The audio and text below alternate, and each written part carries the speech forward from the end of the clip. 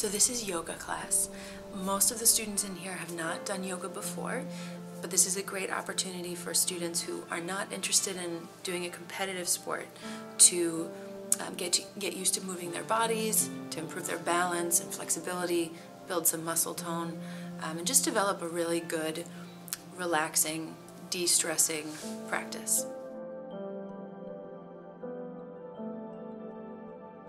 So one of the cool things about yoga is that um, you know, I'm really able to see how all of these students have improved in their balance. You know, one day they're not really able to do a particular pose, um, but then, you know, a couple days later, they're able to balance in a pose, and many of them are moving on to some more challenging balances and inversions, which is really exciting to see.